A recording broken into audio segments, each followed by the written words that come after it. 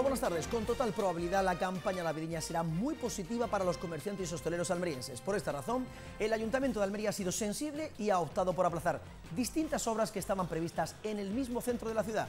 Es el caso del entorno de los refugios, junto a la Puerta de Burchena, o la eliminación del cajón de la calle Antonio Ledesma. La intención de la Concejalía de Fomento del Ayuntamiento de Almería es iniciar estos trabajos a partir de la segunda quincena del mes de enero con el fin de seguir favoreciendo la movilidad y la peatonalización en el casco histórico. Ellos han visto de muy buen agrado que hayamos pospuesto la fecha de iniciación de obras para después de Reyes, por lo tanto lo que sí eh, ya les adelanto es que durante la segunda quincena de enero y la primera de febrero se van a poner en marcha numerosas obras que, bueno, de antemano vaya pues pedir eh, disculpas a los almerienses porque vamos a tener media, media ciudad en obra. Pero yo creo que es importante, es importante que vayamos cumpliendo nuestros compromisos con los vecinos y mejorando las infraestructuras de la ciudad. Y los ganadores de la cuarta edición de Tapas de Película ya tienen su galardón. La Taona Plaza Vieja se ha alzado con el sol de oro con su propuesta Ratatouille. En segundo lugar ha quedado la tapa 50 sombras de Grey de la cervecería La Consentida, mientras que el tercer puesto ha sido para Taberna Nuestra Tierra, con Papa Piquillo. 34 establecimientos han tomado parte en este nuevo evento gastronómico vinculado a la celebración de FICAL, el Festival Internacional de Cine de Almería 2016. Aunque noviembre históricamente es un mes un poquito flojo, eh, con el Festival de, Cine y con el Festival de Etapas de Películas, pues la hostelería y, y, los hoteles se han llenado y se ha movido algo más que en fechas históricamente flojas. Que ha sido un acierto y para el ayuntamiento y para la ciudad, pues lógicamente el que Almería esté en el panorama nacional, internacional y más si, si se potencia nuestra economía. A lo largo del mes de enero, el Ayuntamiento de Almería va a iniciar obras en distintos puntos de la capital almeriense. Unos trabajos de remodelación que el equipo de gobierno municipal del Partido Popular ha decidido aplazar hasta esa fecha para no interrumpir las fiestas navideñas. El ayuntamiento ha sido sensible con hosteleros y comerciantes para que esta campaña de Navidad transcurra con normalidad y no se vea perjudicada por las molestias que suelen ocasionar las obras en la ciudad. Por esta razón, desde la Concejalía de Fomento han optado por aplazar los trabajos previstos en distintas zonas como la calle Regocijos, Plaza Vivas Pérez y, en definitiva, el entorno que rodea la zona donde se ubican los refugios de la capital. También se contempla la eliminación del cajón de la calle Antonio Ledesma, aunque habrá que esperar a la segunda quincena del mes de enero para que estos trabajos comiencen. Creemos que va a ser una temporada de Navidad positiva en lo comercial, todos los indicadores económicos así lo establecen y evidentemente el ayuntamiento en ningún caso puede ser eh, que su objetivo sea perjudicar a los comerciantes y a los hosteleros. Ellos han visto de muy buen agrado que hayamos pospuesto la fecha de iniciación de obras para después de Reyes, por lo tanto lo que sí eh, ya les adelanto es que durante la segunda quincena de enero y la primera de febrero se van a poner en marcha numerosas obras que, bueno, de antemano vaya pues pedir eh, disculpas a los almerienses porque vamos a tener media, media ciudad en. Pero yo creo que es importante, es importante que vayamos cumpliendo nuestros compromisos con los vecinos y mejorando las infraestructuras de la ciudad. Con estas obras, el ayuntamiento pretende mejorar la ciudad, favoreciendo la movilidad y la peatonalización, sobre todo en la zona del casco histórico. Esta mañana se ha reunido en el preventorio la Junta Local de Seguridad. El alcalde de Almería, Ramón Fernández Pacheco, ha presidido este encuentro en el que estaban presentes el subdelegado del Gobierno, Andrés García Lorca, y representantes de la Guardia Civil, Policía Nacional y Municipal de Almería, así como varios concejales de su equipo de gobierno. Se trata de una de las reuniones periódicas que se llevan a cabo para mejorar la seguridad en la ciudad de Almería, y en este caso específico, una reunión para abordar el despliegue especial con motivo de la Navidad 2016. El Parque Nicolás Almerón cuenta con una zona de gerontogimnasia, una petición vecinal y una apuesta propia del Ayuntamiento de Almería por el envejecimiento activo. Aquellos que transitan habitualmente por el Parque Nicolás Almerón, a la altura de la Casa del Jardinero, ya conocen el circuito de gerontogimnasia que ha instalado el Ayuntamiento. Casi una decena de máquinas para favorecer el envejecimiento activo, una buena manera de aprovechar nuestro espacio verde con más solera el cumplimiento de una demanda vecinal, sobre todo de la muchísima gente mayor que vive en el entorno desde hace mucho tiempo, y es la implantación de este parque de gerontogimnasia, este circuito de gerontogimnasia, eh, totalmente gratuito, con aparatos de primera calidad, hemos tenido la oportunidad de, probarlos también. eh, de cara a que la gente que aquí vive pues tenga un envejecimiento más activo y disfruten de una zona maravillosa de nuestra ciudad como el Parque Nicolás Salmerón. Hemos tenido la oportunidad de estar paseando un rato y la verdad es que aquí no se puede estar mejor. Eh, como digo, se trataba de una demanda de la Asociación de Vecinos, de la Asociación de Mayores también, a la que damos cumplimiento y yo pues me siento muy satisfecho de ver que la inversión del ayuntamiento al final tiene buen uso, la gente lo disfruta. Cualquiera puede utilizar estas máquinas, desde grandes a pequeños, y es que los beneficios del ejercicio físico son indudables. Y le hablamos de la oposición porque Manuel Vallejo, concejal del Grupo Municipal Socialista en el Ayuntamiento de Almería, ha denunciado esta mañana que a escasas semanas para que termine el año, el Ayuntamiento haya destinado una partida de 117.000 euros para personas en riesgo de exclusión social. No entiende de dónde ha salido este dinero y por qué no se invirtió mucho antes. La improvisación y la descoordinación con la que trabaja el equipo de gobierno de este ayuntamiento en este caso en referencia a los más necesitados de esta capital.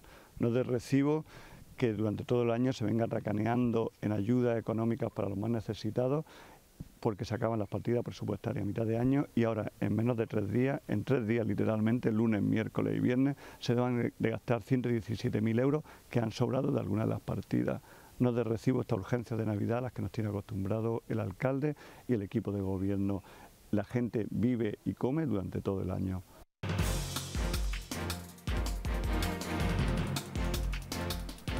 La consejera de Agricultura ha presentado esta mañana un estudio sobre la cartografía de invernaderos en Andalucía Oriental.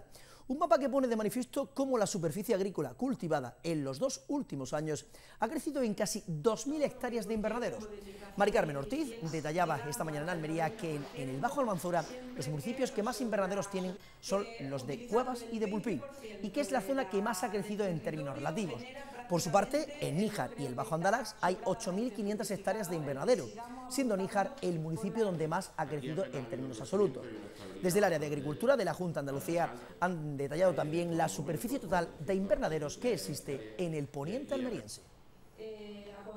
En el poniente, aquí es donde existe lógicamente una mayor estabilidad, como podéis entender, porque hay incluso municipios que se pueden decir que ya prácticamente pueden estar colmatados, como elegidos o la propia Mojonera, que tiene una superficie muy importante de su, de su municipio ya cubierta por, por invernaderos.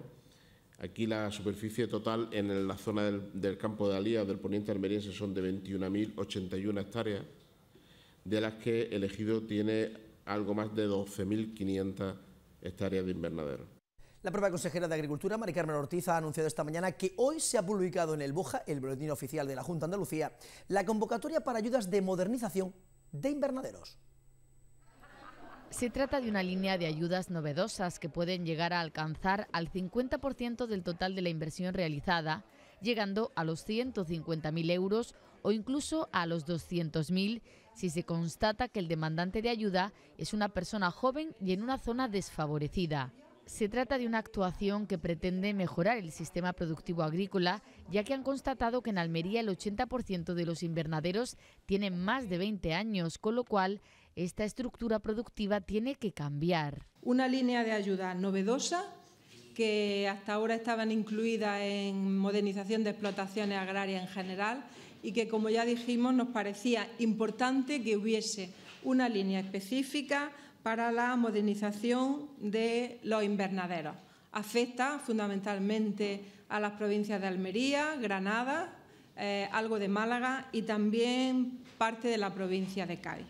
La consejera de Agricultura ha destacado que hay que seguir apostando por la eficiencia de los invernaderos y que desde su consejería tienen claro que nuestro sistema productivo tiene que mejorar para ser más competitivos. Tras las lluvias torrenciales vividas en los últimos días en la provincia de Almería y en toda Andalucía, la consejera de Agricultura, Mari Carmen Ortiz, ha aclarado que están recopilando toda la información necesaria para que puedan hacerse ayudas a las superficies afectadas. Ahora mismo se están recopilando todos los datos y se está haciendo una evaluación de los daños. Eh, cada consejería tenemos ese compromiso que nos trasladó desde la presidenta de la Junta. En materia agrícola, pues la, las oficinas comarcales agrarias, la OCA, eh, tienen el cometido de evaluar los daños y trasladarnos la información de forma urgente para una vez que tengamos esa información, de manera urgente y rápida, poner en marcha las medidas que a cada uno les compete. Y del Partido Socialista, en este caso, por la consejera, al Partido Popular, porque esta ha vuelto a pedir a la presidenta de la Junta de Andalucía, Susana Díaz, un pacto por la educación. Una solicitud de los populares que consideran muy necesaria tras los resultados que se extraen del informe PISA, que sitúan a nuestra comunidad, a la comunidad autónoma andaluza, a la cola del país en esta materia. La parlamentaria popular Aranza Zumartín ha destacado que el gobierno andaluz ha pasado del 21,77% al 21,12% en lo que respecta a la inversión prevista en los presupuestos para el año 2017 en materia de educación un descenso que en su opinión pone de manifiesto la falta de intención de la Junta por resolver los problemas que se originan en este ámbito, una gestión cuyos resultados se ven reflejados en el último informe de PISA que coloca a Andalucía a la cola del país en esta materia, situando a la comunidad muy por debajo de otras en asignaturas como ciencias o penúltimos en comprensión lectora o matemáticas. Yo lo que desde luego la que nuevamente hacemos hoy es tenderle la mano a la presidenta Díaz para ese pacto y sobre todo para iniciar un camino tendente similar al que se ha iniciado en el Congreso de los Diputados y en el que a través de expertos y sobre todo pues eh, estemos todos los grupos políticos también podamos mm, debatir y llegar a las conclusiones de por qué tenemos estos malos resultados. Pero como digo, no es momento de esconder la cabeza, no es momento de echarle las culpas a los demás, como viene haciendo la Junta de Andalucía, porque estamos hablando de un informe absolutamente objetivo que nos pone de manifiesto pues que la gestión de la Junta en materia educativa pues es nefasta en lo que respecta a la provincia, desde el PP insisten en el déficit de plazas para formación profesional, la falta de creación de nuevos centros en educación infantil, la disminución de colegios receptores de transporte escolar y la incompleta implantación del plan de apertura de centros junto a la pérdida de docentes que se ha registrado en la provincia en los últimos cuatro años.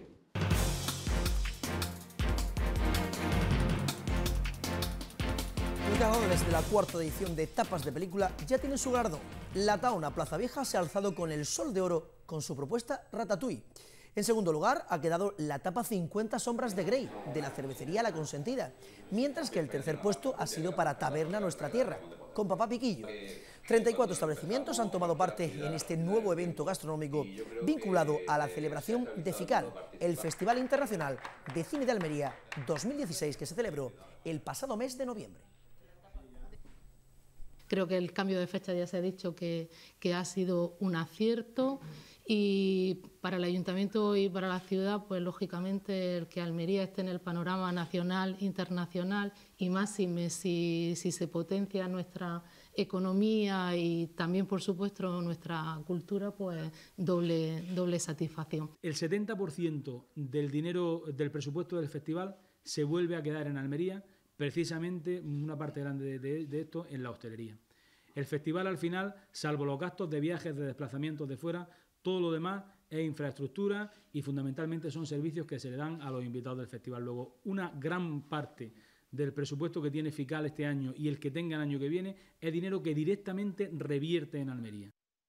La ciudad de Almería se prepara para el periodo navideño y como todos los años nos muestra una variedad de productos, tanto en la Rambla de Almería debido a los puestos que se han instalado, como los cuales están recibiendo muchísimas visitas a lo largo del día, llenando las calles con una gran variedad de público. Así luce la Rambla de Almería tras el inicio del periodo de compras navideñas. Los almerienses se han echado a la calle para contemplar el ambiente que cada año se puede disfrutar entre sus calles. Tras el cierre de los establecimientos comerciales por los días festivos de la Constitución y la Inmaculada, los puestos que invaden la Rambla han tenido una gran cantidad de público, que ha aprovechado la ocasión para hacer compras de última hora, observar la decoración navideña que este año decora las calles de la ciudad y degustar productos que nos ofrece nuestra ciudad. Sabores Almería es el nombre que recibe la feria gastronómica de la que podemos disfrutar hasta el jueves 8 de diciembre en la Plaza de la Constitución cuenta con 28 expositores con productos agroalimentarios con sello almeriense. Entre ellos podemos encontrar jamones, quesos, vinos, productos ecológicos y chocolates, entre otras muchas más variedades. La inauguración fue el sábado 3 de diciembre y corrió a cargo del alcalde, Ramón Fernández Pacheco, y el presidente de la Diputación Provincial, Gabriel Amat, quienes han deseado un rotundo éxito. Para fomentar la asistencia de las familias a la Plaza Vieja se han programado actividades infantiles y música en directo. Desde el sector del comercio se espera que esta Navidad haya un incremento leve de ventas. Sin embargo, los colectivos de consumidores alertan de las compras compulsivas y aconsejan preparar una lista de productos necesarios para no caer en las tentaciones innecesarias. Y el Auditorio Municipal Maestro Padilla lucirá esta noche sus mejores galas para recibir a partir de las 9 un encuentro flamenco único e histórico. Los cantadores José Mercé, Miguel Poveda y Arcángel y los guitarristas Miguel Ángel Cortés y el almeriense José Fernández Tomatito, acompañado por su hijo José del Tomate, serán los encargados de poner su arte sobre el escenario en un concierto promovido por el área de Cultura, Educación y Tradiciones del Ayuntamiento de Almería en colaboración con la Asociación Cultural Social y Flamenca Mesón Gitano y que servirá para rendir homenaje al guitarrista y cantador de pescadería José Le. En las imágenes, su hijo, José Le Niño además de por el cartel que reúne a las mejores voces y cuerdas del flamenco de la actualidad, la velada será muy exclusiva, pues será la primera vez desde la muerte del camarón de la isla que Tomatito toque para un cantador y por partida doble, pues lo hará tanto para José para, como para Boveda. Las entradas para acudir a este evento histórico, evento totalmente, están totalmente agotadas desde hace ya varias semanas.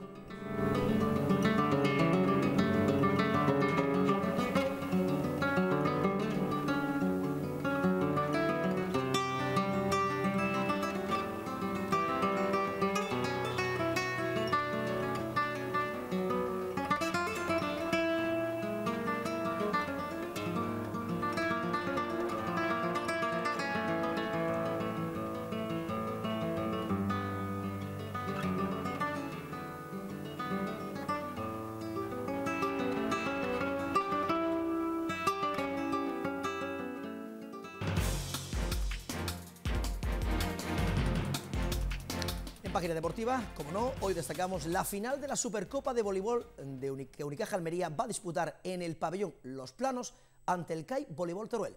El objetivo es revalidar el título y conquistar el octavo de su palmarés. Unicaja Almería disputa esta noche en el pabellón Los Planos de Teruel el primer título de esta temporada, o lo que es lo mismo, su octava Supercopa de España. Como ya ocurriera en la pasada edición, el club almeriense volverá a enfrentarse al CAI Voleibol. El pasado año, el equipo de Piero Molducci se impuso por 3 a 2 tras una gran remontada al equipo aragonés en la final disputada en el pabellón municipal de Elegido. Esta vez el anfitrión será el CAI Voleibol Teruel, el equipo dirigido por Xavi Folguera. Jugará en su pabellón y con el apoyo de su público. Un equipo que tiene como principales referencias a Balsa Radunovic, a Jaroslav Lech en ataque, Mar Altayo como central y Vinicius Noroña como repartidor de juego. Por su lado, Unicaja Almería, líder invicto en la Superliga, apelará a su espíritu ganador y a la calidad de los hombres que dirige Piero Molducci, empezando por Miguel Ángel de Amo en la colocación, Israel Rodríguez y Juanmi González en el ataque, en el poderío sobre la red de Borja Ruiz o Moisés César, así como en el ataque por punta del brasileño Alexander Stott. Este será el séptimo enfrentamiento entre Unicaja Almería y CAI Voleibol Teruel en la Supercopa de España, con tres títulos hasta el momento para cada uno. El partido con inicio a las 8 y cuarto se puede seguir en directo en streaming a través del enlace de la página web de la Real Federación Española de Voleibol.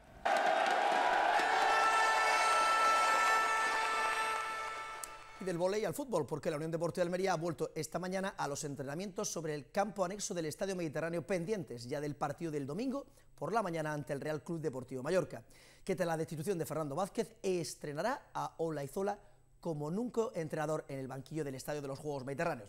Fernando Soriano está pendiente de poder recuperar a los jugadores lesionados que no pudieron viajar a Soria, como fue Jorge Morcillo, Iván Sánchez y Chuli. Contra el equipo Bermellón no podrá contar con el sancionado Joaquín Fernández, aunque en cambio sí podrá disponer de Pape Diamancá, lo cierto es que el partido ante el Mallorca se presenta como un nuevo reto muy importante para el equipo tras la derrota y la pobre imagen ofrecida ante el Numancia. El Almería necesita ganar no solo para mejorar su imagen, sino para poder salir de los puestos de descenso y eludir así el farolillo rojo.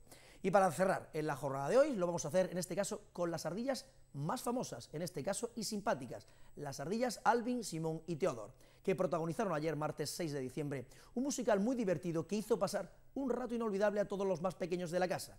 Alvin y sus amigos interpretaron canciones y compartieron momentos de diversión, donde también los mayores disfrutaron de lo lindo. En este concierto, las ardillas más famosas de la tele y el cine se disfrutó de unas voces increíbles. Con estas ardillas nos despedimos en la jornada de hoy. tendrán más información a partir de las ocho y media. Pasen una feliz tarde.